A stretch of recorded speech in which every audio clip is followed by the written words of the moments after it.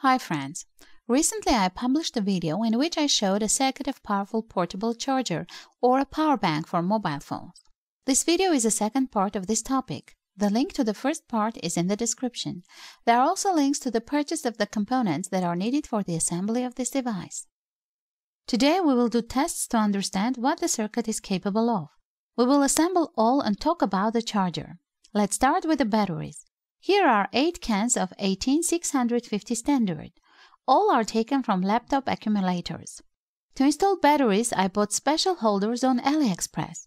Cans could be welded, but holder is convenient because batteries can be removed, diagnosed, and quickly replaced in case of problems.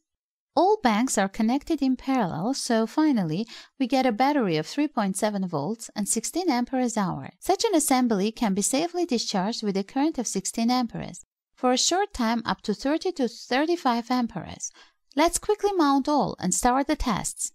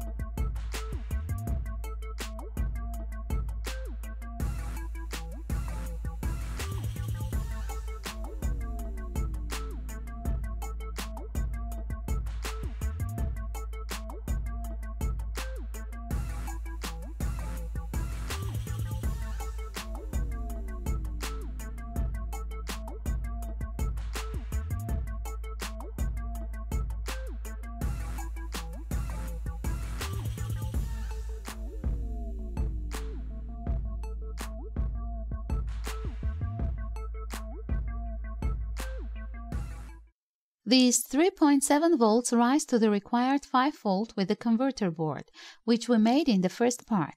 The board has two components that are needed to be installed on a small heatsink.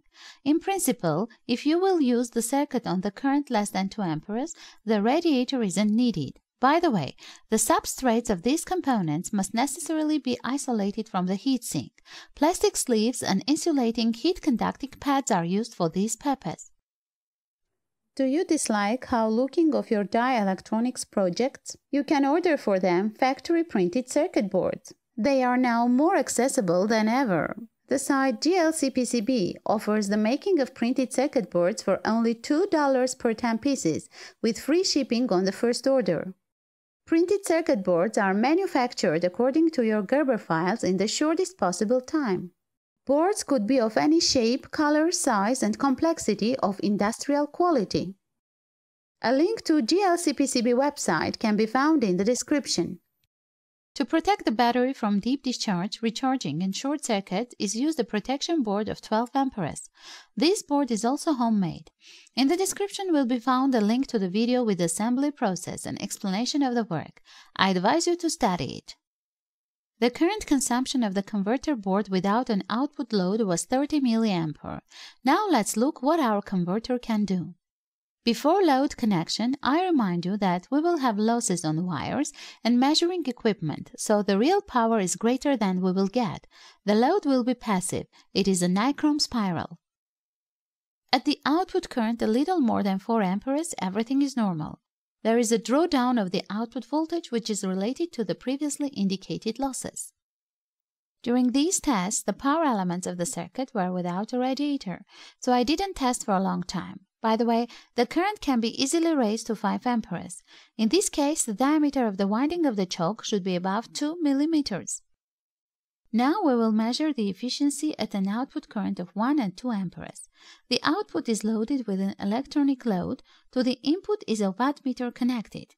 At a current of 1 ampere, we have this. And this is with an output current of 2 amperes.